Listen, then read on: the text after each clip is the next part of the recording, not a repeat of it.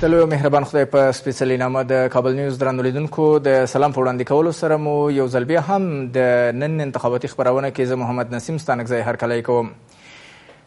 نن مو بحث په ولسمشریزو ټاکنو، دغه راز پارلماني ټاکنو کې او په ټولو کې په ټوله کې په ټاکنو کې د ښځو ونډې ته ځانګړې کړې ده. دا چې په افغانستان کې په ټاکنیزو بهیرونو کې یا ټاکنیزو پروسو کې د ښځو ونډه تر کومې کچې پورې رنګینه یا کمرنګه وه په دې تړاو بحث کوو او دا چې تیرې پارلماني ټاکنې د ښځو لپاره څه ډول وي او د ښځو ونډه هلته څنګه وه او راتلونکې ولسمشریزې ټاکنې چې اتلس کسانو ولسمشرۍ ټاکنو ته ځان کاندید کړی، یوازې پکې درې ښځینه مرستیالانې حضور لري او د دوی حضور یو ډول د ښځو فعالینې هم اندېښمنې کړې دي او د دوی کمرنګه حضور نه اندېښنه څرګندوي. د همدې موضوع د لا بحث او د موضوع د څېړلو لپاره را سره دوه آغلې مېلمنې آغلې فروزان دوزۍ د ښځو فعاله او دغه راز مریم آروین بارکزۍ د فیفا بنسټ د ښځو د برخې مسوله را سره په بحث کې میلمانه دي د موضوع په تړاو به لا بحث له دوی سره وکړو سلام تاسو ستړي مشي وایم مننه چې په باس کې مو سره ګډون وکړ فروزان د وزي سیب تاسو نه به شروع کو د خزو ونده په پارلماني ټاکنو کې ښکاره شوه چې پارلماني ټاکنې ترسره شوې، هغلته د ښځو ونډه څنګه وه، د هغو د دادخواهۍ پروسه څنګه وه، بالاخره د هغوی هغه حقوقو ته تر کومه رسیدګي وشوه، اوس ولسمشریزې ټاکنې چې کمپاینونو انتخاباتي کمپاینونو پیل ته لږ وخت پاتې ده، په دې کې د ښځو ونډه هم کمرنګه ښکاري او د ښځو فعالان یې له دې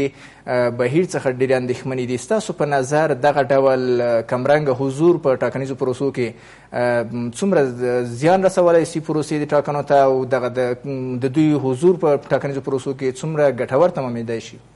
بسم الله الرحمن الرحیم ارڅنه د مخه تاسو ته محترم خور ملمنی ته او د کابل نیوز محترم لیدونکو او اوریدونکو ته خپل سلامونه وړاندې کوم ډیر د تاسف زیاده دی چې فعلی شرایطو کې کوم انتخابات چې مونږه مخه کې لرو نه یوازې د ښځو بلکې د ښځو او نارینه په مجموع کې ډیر کمرنګه او ډیر په ضعیفه کچه باندې روان دي ځکه کوم فعالیتونه او لاسته راوړنې چې په دې تیر کلو کې ښځو درلودلې په تیر ولسی جرګې انتخاباتو کې دوی یو ډیره قوي ونډه واخیستله البته هم په نوماندیدو برخه کې او هم د انتخاباتو د رای ورکونو په برخه کې اما متاسفانه چې دا دواړه داسې یو منفي شکل او یو داسې توره پرده پې خاره شوه د تقلب او د حق حق درته رسیدو چې مطلق د خلکو هغه باور د صفر سره ضرب کړ په همدې اساس باندې کله چې تر اوسه پورې هم مونږ او تاسو په جریان کې استو چې مونږ یو تعداد خواندې د دادخواهی د پاره کومه خیمه یا فعالیتونه لري اما هیڅ د غوي غږ و نه وریده او انتخابات ته مطلق یو انتصابي شکل ورکړل شو په ماغه اساس باندې د ریاست جمهوریت انتخاباتو کې د خزو ونډه ډیره ضعیفه هم ده او بدبختانه چې زمونږ ټکټو البته هغه ټکټو چې یو اندازه مطرح ول او د ښه قوت نه برخوردار ول هغه اصلا د خزو دغه ونده یو سمبولیک شکل باندې څنګه چې مخکې نظر کې نیول او بیا هم ماس په نظر کې ونیول کما ټکټونه چې تاسو یاد کړئ چې زمونږ خوند الته د ماوینیت په اس نوماند شوی دی هغه هغه تکتونه دي چې یو څه نسبت دی قوي تکتو ته خپل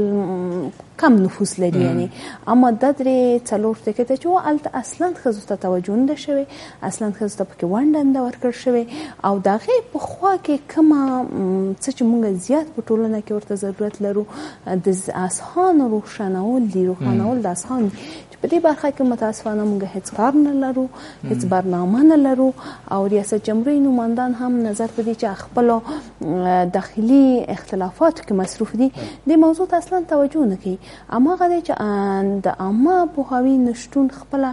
یو لوی ضربه ده د دې راتلونکو انتخاباتو د خزو فعالیت په ټولنه کې په تیرو اتلس کلونو کې لورای ښکاری په هر برخه کې د دوی فعالیت د شمار وړ دی یعنی باید سترګې پې پټې نه شي خو په بدبختانه په وروستیو کې یو ډول ښځې څنډې ته پاتې شوي دي تاسو څه فکر کوئ چې حکومت ولې داسې کوي په لوی لاس دغه پروسه پر مخ وړل کیږي یعنی د ښځو ونډه کمیږي کنه کوم بل څه د پردي تر شا روان دي د بدبختۍ ځای خو دا دی چې څرنګه چې تاسو ویل چې په دې اتلسو کلو کې ښځو واقعا په مختلفو برخو کې نه یوازې سیاست کې ډېر قوي لاسته راوړنې درلودلې اما د خپل دولت د خوا نه دوی ته ډېرې سختې صدمې وارد شوې چې هغې جملې نه اول د ولسي جرګې ناشفافه یا خراب ټاکنې وي او د هغوی حق نه رسیدل وو پخوا د هغې کې فساد وو پخوا د هغې کې دغه بله موضوع چې په دې اخراو کې د ارګ د خوا نه زیاتره راپورته شوله چې د اخلاقي فساد په نامه باندې یو تعداد کسانو یو بل تورن کړل او برته هغې مقابل کوم اسناد هم نه و دا په دې معنا باندې چې پلی د خزو په مقابل کې یو نوع تاوتریخوالی دی او خو دغه کې د خزو نشټون په انتخاباتي ریاست جمهوریت انتخاباتي ټکټو کې د خپل هغه ضعفونه دي چې خزو خزو سره نن ورځ مخامخ دي او کچیره د دوام پیدا کی د خپل یو نوع تاوتریخوالی دی د خزو په مقابل کې ځکه افغانستان کې خزې ډېر قوي لاسته راوړنې لري اما په حکومت کې حضور مطلق سمبولیک دی همدغه په ټاکنیزو پروسو کې د دوی نه حضور به ټاکنې څومره بې باوره کې څومره به یعنې د ټاکنو هغه مثبت او منفي اړخونه به څه وي د ټاکنو په بهیر کې د دوی نه حضور نظر په دې چې افغانستان کې 50 فیصد ښځې اوس هم ډیره فعاله ونډه لري او په اکثریت مسایلو کې ښځې په فعالیتو کې ډیره صادقانه او فعالې دي نو نظر په دې چې دلته ښځو ته اصلي توجه نه کیږي او که توجه کیږي ډېر یو محدود حلقې ته هغه هم په سمبولیک شکل باندې نو کوي شي چې دا انتخابات باندې ډېر منفي اثرات ولري او سبب د دې شي چې اکثریت زموږ خوند اصلا انتخاباتو کې ونډه وانخلي ډېر زیاته مننه داودزی صاحب بارکزی صاحب تاسو د فیفا بنسټ د ښځو د برخې د مسولې په توګه پاتې شوي یاستئ او اوس هم فعالیت کوي هغلته تاسو څه ډول انګیرئ دغه پروسه چې یعنی ښځو حضور ولې کم رنګه کیږي ورځ په ورځ په دغه پروسو کې بسم الله الرحمن الرحیم په لومړي سر کې تاسو ته درنې میلمنې ته او دارنګ ګران لیدونکو ته خپل سلامونه وړاندې کوم متاسفانه په افغانستان کې هر شی سمبولیک دي د خزو ونده هم سمبولیک ډول باندې همیشه د په مختلفو پړاوو کې تطبیق شوې ده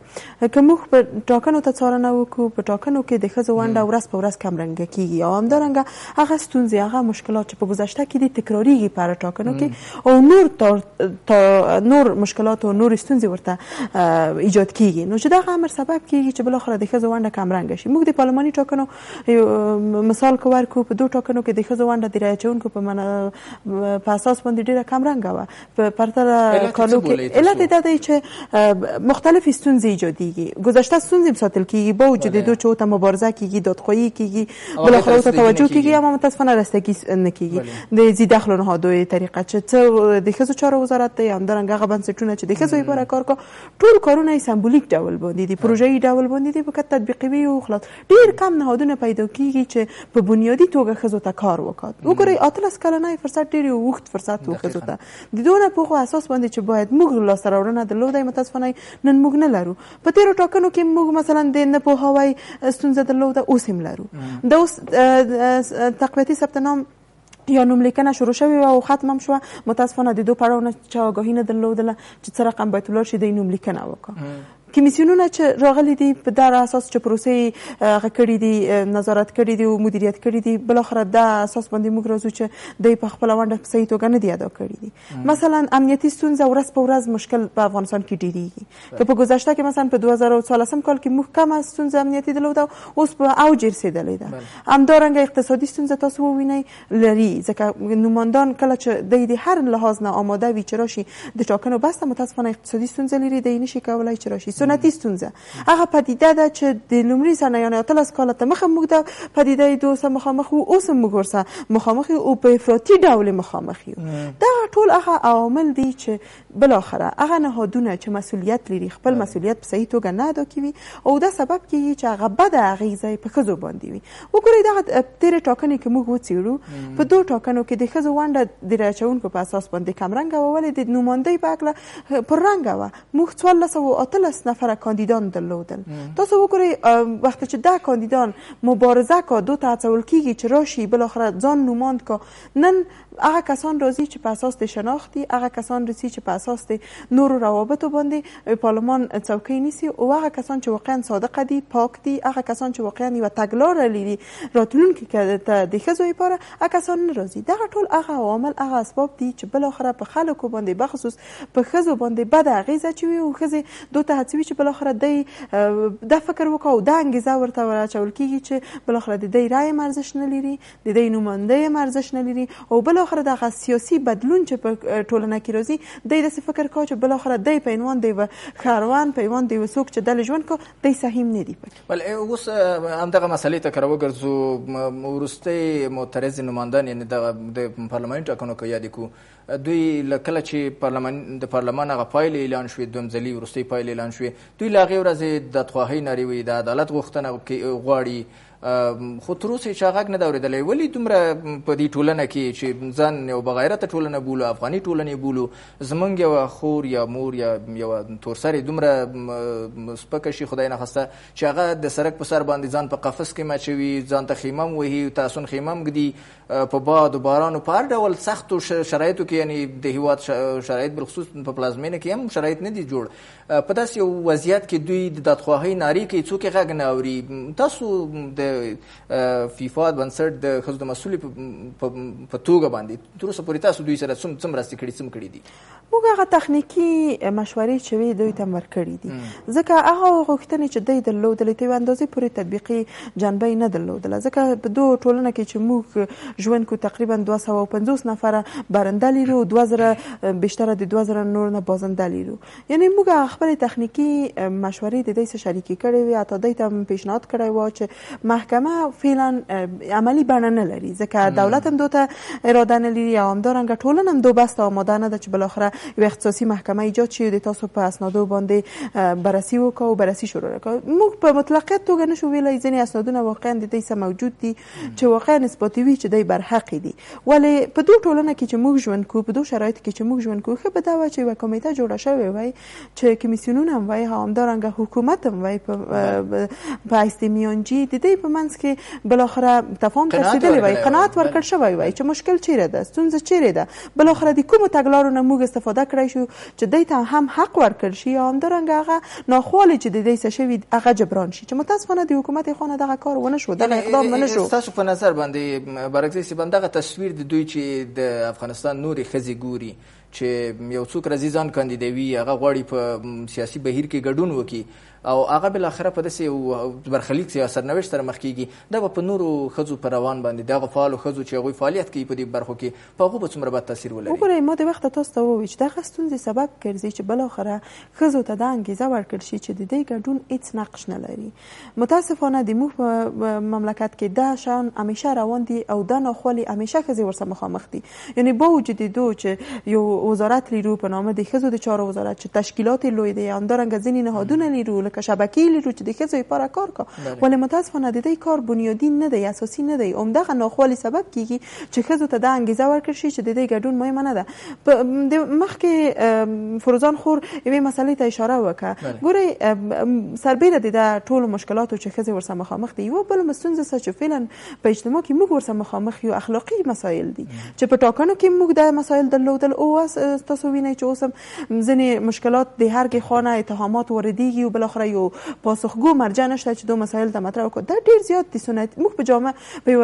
سنتي ټولنه کې ژوند کوو دا ټول ناخوالې بالاخره په موږ باندې تاثیر ږدي هغه فعالې ښځې چې بالاخره اجتماع کې راځي فعالیت کوي خپل حق غواړي خپل مساوات غواړي په باندې ډېره بده اغېزه ږدي ځکه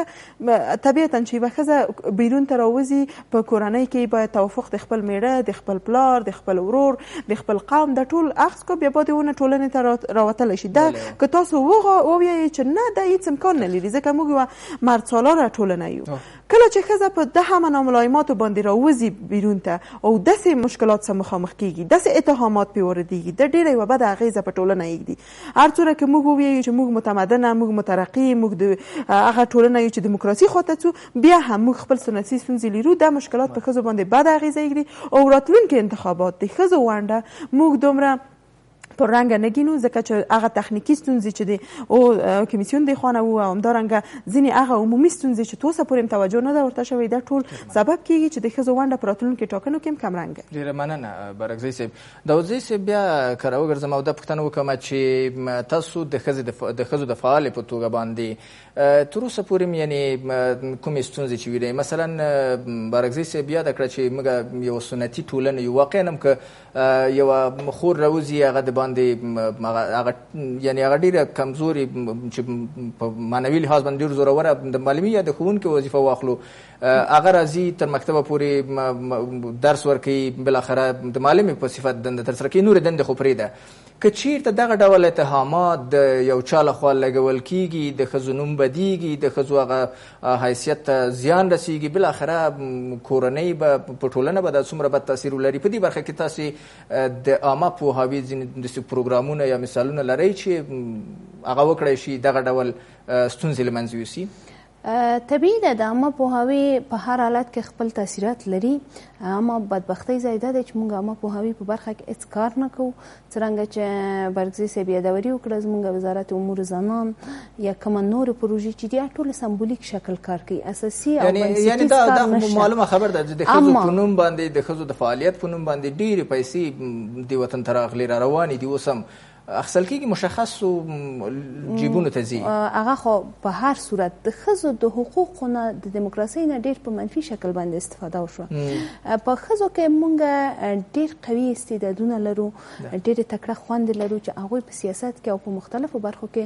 ډېر قوي لاسته راوړنې لري او استعدادونه لري اما دغه آخري اتهاماتو یا دغه موضوعګانو چې دوی د خپلو شخصي منافعو لپاره او په ضمن کې په شکل د یوې پروژې یو برنامه رامنځ ته کړله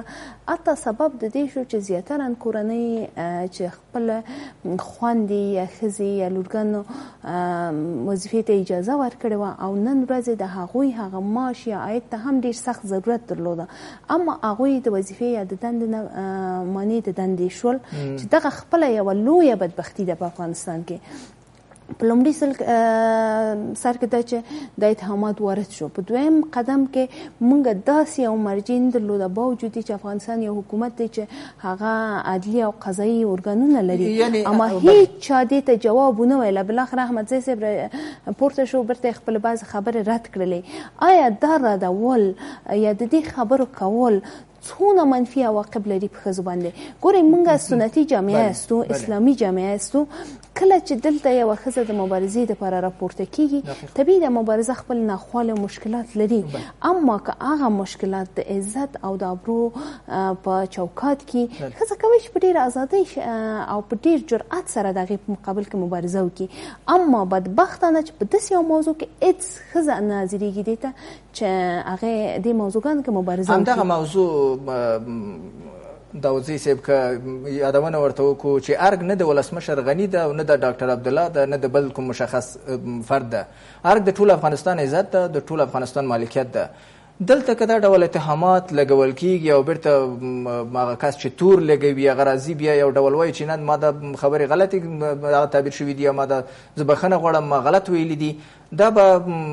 د افغانستان حیثیت ته څومره صدمه ورسوي په ټوله کې وی رسوله دې د نه یوازې د افغانستان حیثیت ته صدمه ورسوله د افغانستان ملت ته صدمه ورسوله د افغانستان ښځو ته صدمه ورسوله تیر ورځ کې موږ یو برنامه درلودله هغه کې زیات بحث په دې باندې و چې طالبان د ښځو دغه تیر او اتلس کلو کوم حقوق چې لاس ته راوړي ده د آیا دا به قایلی چې وری کړي کنه ما ورته ویل چې د هغه حقوقونه دا ډیره خطرناکه خبره ده ځکه که هغه رسما وایي چې موږ هیڅ ته اجازه نه ورکو تحصیلات د پاره یا نور مسایل ته هغه مقابل کې څه کوي چې ډیر ازانانه مبارزه وکړي اما څنګه مې چې مخکې درته یادوري وکړه دا داسې موضوع ده چې د دې په مقابل کې ښځې حتی مبارزه نه شي کوی او دا بدبختانه چې د یوې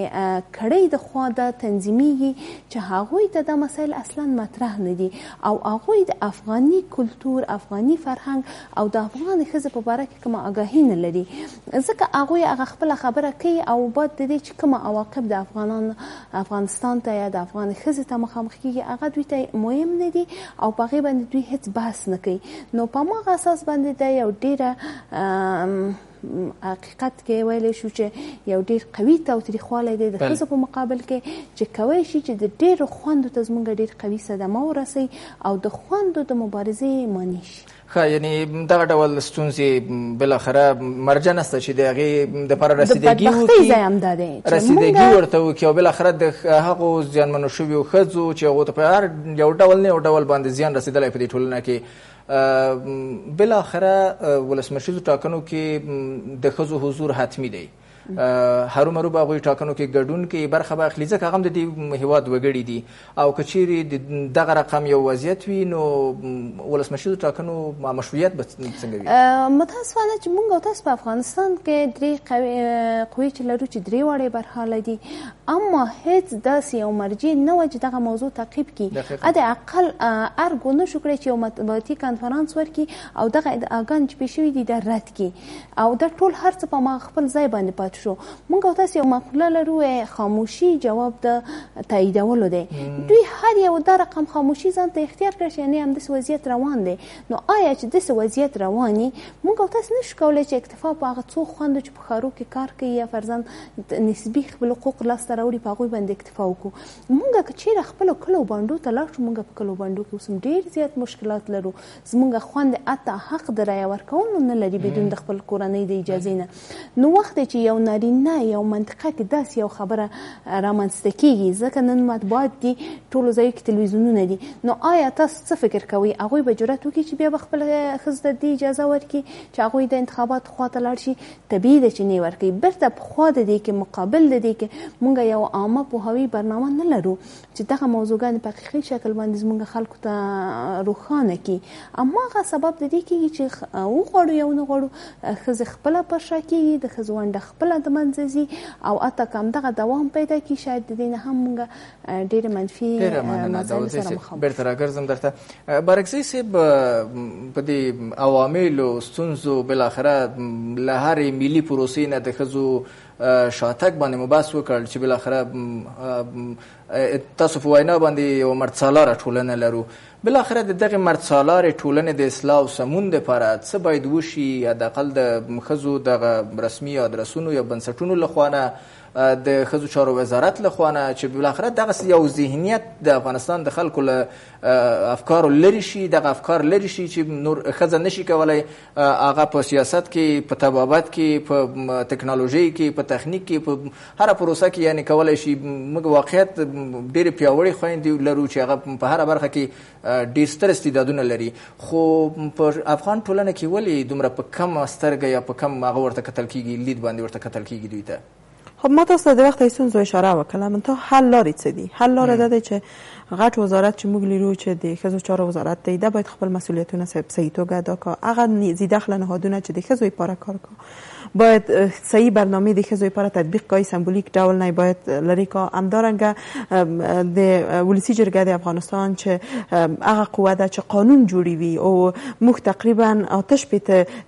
چوکیان علی لیرو هغه کسان چې په عنوان د ښځې د ښځو او د ښځو وکیلانو یې دي هغه باید استازیتوب د ښځو نه کا هغه باید په هغه حقوق هغه مسایل چې ښځو ته باید مطرح کیږي په صحیح توګه باید علی اعمال کا بل مسله چې ډیره زیاته فعلا مهمه ده چې موږ بل اخر دو پړاو تر شو چې د ښځو ونډه په سیاسي چارو کې او همدارنګه په ملي پروسو کې اغیزناک کو او همدارنګه د سمبولیک اړخ نه وباسو حکومت حکومت لازمي دا ده چې ښځي کله چې په رهبرۍ کې راوړي توانمندې ښځې دې وي ترڅو خپل هغه مدیریتي بڼې نه وشي کړلی چې دی مخته لاړ شي او کله چې یو مسولیت ورکول کېږي باید صلاحیت هم ورکړل شي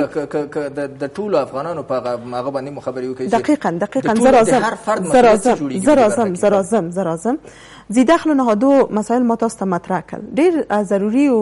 اړینه ده ده چې باید عامه پوهاوی پروګرامونه نه تنها خزو ته بلکې نارینه او تم تطبیق شي او همدارنګه هغه ځینی اتهامات چې د خزو بر علیه نن سبا تاسو موږ ای آر وو هغه باید سپین شي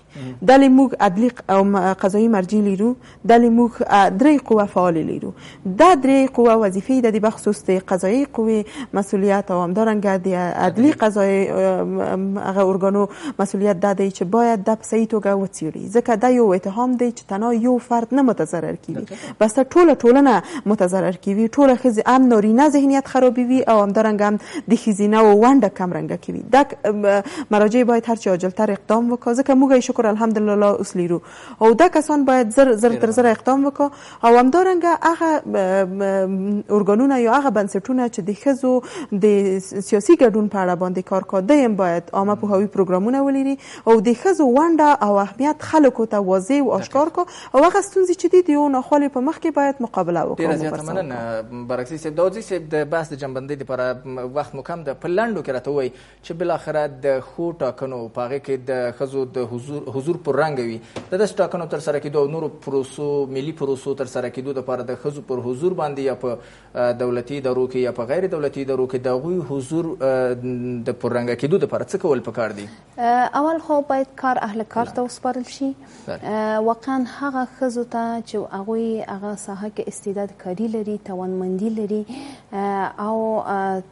په حساب مسلکي دي هغوی ته کارونه او برنامې ور وسپارل شي دغه حلقه یي شکل چې افغانستان فعلا د افغانستان حکومت اختیار کړی دی چې یو څو نفره محدودې ښځې دي په هره پروسه کې هماغوی دخیلې دي د یو مرجع نه که فرضاً ځي بل مرجع کې بیا هم هماغه کسان دي د دغه حلقه یي شکل نه باید د افغانستان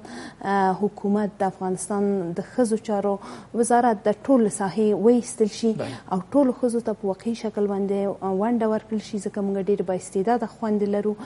او بله موضوع دا ده چې دغه اتهامات چې واردېږي کله چې دوی په پوزیشنو کې دا اتهامات نه وي اما کله چې د وظایف نه لرې شي بیا دوی اتهامات واردوي دا باید په ډېر دقیق شکل باندې ملت ته واضح شي او په خوا کې عامه پوهاوی باندې کور مدن ژوندی اوسې برعکسي صاحب په لنډو کې تاسو هم خپله د بحث جنبندي په خاطر باندې بالاخره د هغو ښځو حضور په دولتي او غیر دولتي ادارو کې چې هغوی په یو ډول باندې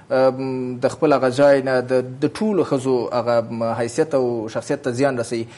د دو د مخنیوي یا د هغو د پوهاوي لپاره څه کول پکار دي ښه خبر دا ده چې موږ اصل مکافات او مجازات لیرو په ټولنه کې هغه کسان چې واقعا عاملین دو مسایل دي او نور متضرر کوي هغه باید د قانون پنجې ته وسپارل شي او په هغه چي چې قانون حکم کا باید پیپلی شي بل مسله چې ډیره زیاته مهمه ده د عامه پوهاوي پروګرامونه دي ځکه کله چې یو چاته مسولیت ورکول کیږي صلاحیت هم باید د دندې ورکړل شي باید هغه نفر چې په عنوان د یو مسول یو بخش ته څی باید خپل مسولیتونه هم وپیژني خپل صلاحیتونه او په هیڅ ډول باندې عدول دیونه ونه کا کله چې عدول وشو باید قانون پیپلی شي ډیره زیاته مننه له تاسو دواړو اغلو بارکزی او داوزی صاحب نه کورم ودان چې په بحث کې راسره ګډون وکړ درنو لیدونکو له تاسو هم مننه کوم چې د خپرونې تر پای شیبو راسره وئ تر بیا چې ستاسو درانه حضور ته حاضرېږم پولی او بخښونکي خدای مو سپارم